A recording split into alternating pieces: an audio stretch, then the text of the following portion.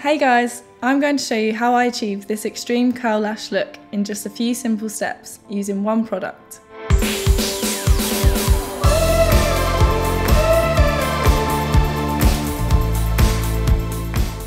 As you can see, I've already created my base, popped a little colour on my lips and used a black pencil to create a smoky eye. So now I'm going to use Rimmel's new 24 hour super curler mascara to create an extreme curl lash look. To start with, make sure you hold the eye-shaped brush like this. Then I'm going to start by coating the top of my lashes using the brush up and out.